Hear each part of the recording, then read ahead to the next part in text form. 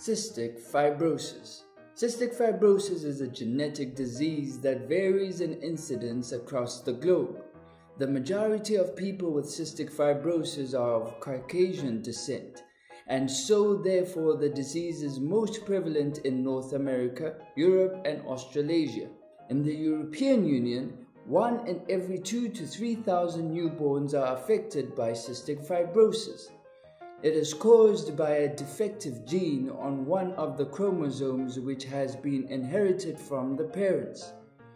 The severity varies greatly from person to person and largely depends on how much the lungs are affected.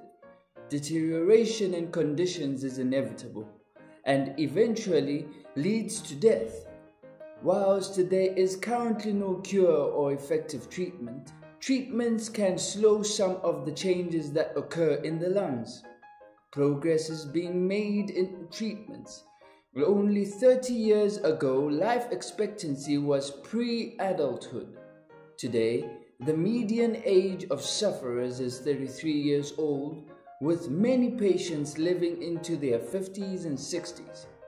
Gene therapy holds great promise for treating cystic fibrosis. The defective gene causes the body to produce lots of thick, sticky mucus in the lungs, which has to be removed by massage.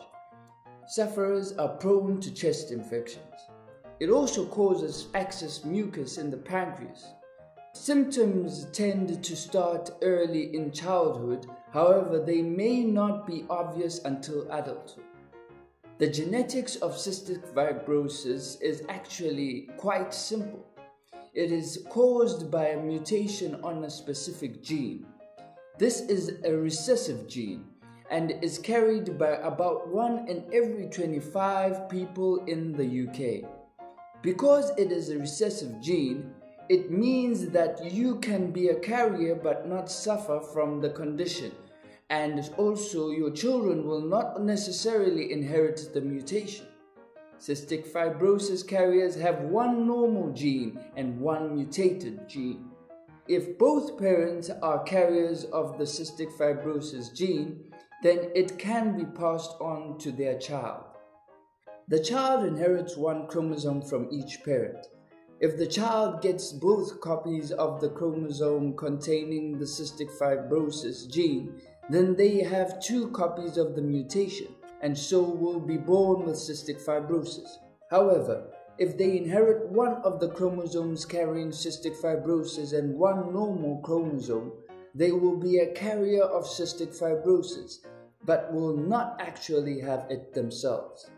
If one parent is not a carrier, then there is no risk of having a child with cystic fibrosis because it is a recessive gene and so the dominant healthy gene overrides it. There is a test available to see if you are a carrier. So from this video you should know that cystic fibrosis is caused by a recessive allele and that it is a deteriorating disease that causes surplus mucus in the body. Treatments are improving and gene therapy is looking hopeful. And if the child inherits both of the normal chromosomes, then they will not have cystic fibrosis and will not be a carrier either. So, the possible combinations of two cystic fibrosis carrying parents are normal from mom and mutation from dad gives a carrier child. Normal from dad and mutation from mom gives a carrier child Normal from mom and No More from dad gives a fully cystic fibrosis free child.